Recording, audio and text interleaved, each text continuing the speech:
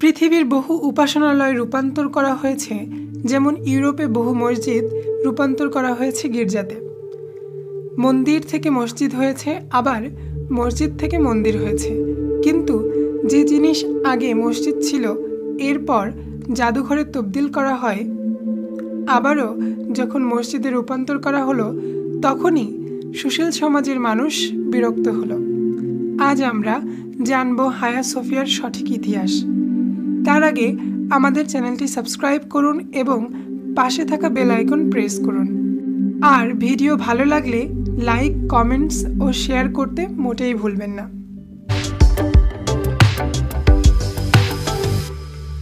Justinian প্রথমের আদেশে পাঁচশো বত্রিশ থেকে পাঁচশো পঁয়ত্রিশের মধ্যে কনস্ট্যান্টিন নোপোলের খ্রিস্টান ক্যাথেড্রাল হিসেবে নির্মিত হয় হায়া সোফিয়া বা Aya Sophia. Basilica Miletus Greek জিওমেটার Isidore এবং ট্রায়ালসের অ্যান্থেনিমিয়াস ডিজাইন করেন হায়া সোফিয়াকে চার্চটি প্রজ্ঞারীশ্বর লোগাসকে উৎসর্গ করা হয়েছিল।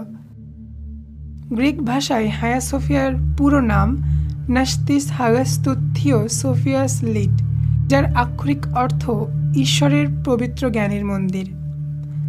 চার্চটি বেশ কয়েকটি ধ্বংসাবশেষ রেখেছিল এবং একটি পনেরো মিটার রৌপ্য আইকোনোস্টেসিসের বৈশিষ্ট্যযুক্ত ছিল। প্রায় এক হাজার বছর ধরে অর্থোডক্স চার্চের ভূমিকায় অধিষ্ঠিত ছিল আয়া সোফিয়া।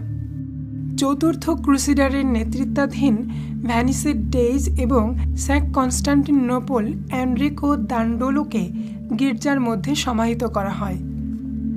বারোশো সালে হায়া সোফিয়া চতুর্থ ক্রুসেডারদের দ্বারা লাতিন সাম্রাজ্যের অধীনে রোমান ক্যাথলিক ক্যাথোড্রলে রূপান্তরিত করা হয় এবং বারোশো একষট্টি সালে বাইজেন্টাইন সাম্রাজ্যের ফিরে আসার পরে পূর্বের অর্থোডক্স চার্চে পুনরুদ্ধার করা হয়। বারোশো একষট্টি সাল থেকে চোদ্দোশো তিপ্পান্ন সাল পর্যন্ত হায়া সোফিয়া অর্থোডক্স চার্চে বহাল থাকে। কিন্তু এরপর ইতিহাস মোড় নেয় নতুন এক ধারায়। মানে পঞ্চদশ শতাব্দীর মাঝামাঝি চোদ্দোশো একান্ন সালে রাসুলুল্লাহ সাল্লাহ আলিহাসাল্লামের ভবিষ্যৎবাণীকে সত্য করে ফাতেহ সুলতান মুহাম্মদ ঐতিহাসিক কনস্ট্যান্টিন নোপল জয়ের মাধ্যমে তুরস্ক মুসলিম সাম্রাজ্যের অন্তর্ভুক্ত করেন। ওই সময়ও হায়া সোফিয়াকে খ্রিস্টানদের অর্থোডক্স চার্চ হিসেবেই ছিল। কিন্তু চোদ্দোশো তিপ্পান্ন সালে ফাতেহ সুলতান মুহাম্মদ খ্রিস্টানদের কাছ থেকে ন্যায্য মূল্য দিয়ে হায়া সোফিয়াকে কিনে নেন। ফলে হায়া সোফিয়াকে মসজিদের রূপ দেন, যার নতুন নামকরণ হয় ইম্পেরিয়াল মস্ক, যা প্রায় পাঁচশো বছর স্থায়ী হয়। এরপরই স্থাপনাটি উনিশশো পঁয়ত্রিশ সালে খেলাফাত ধ্বংসের পর আধুনিক তুরস্কের স্থপতি ও স্বাধীন তুরস্কের প্রথম রাষ্ট্রপতি এবং কঠোরপন্থী ধর্মনিরপেক্ষ মোস্তফা কামাল আতাতুর্ক, যিনি হায়া সোফিয়াকে জাদুঘরে রূপান্তর করেন। শুধু তাই নয়, তৎকালীন সময় তিনি মসজিদে আজান দেয়া নিষিদ্ধ করেন, অনেক মসজিদ বন্ধ করে দেন, মহিলাদের বরকা পরা নিষিদ্ধ করেন।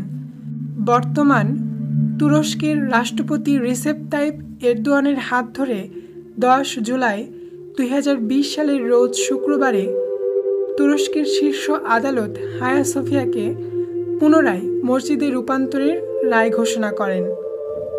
আদালতের রায়ের পর মসজিদে আজান দেওয়া হয়, যা প্রায় ছিয়াশি বছর পর। ফাতেহ সুলতান মোহাম্মদের হায়া সোফিয়া পুনরায় মুসলমানদের হল। মহান আল্লাহ পাক ফাতেহ সুলতান মোহাম্মদের আত্মাকে শান্তি দান করুন। আমিন।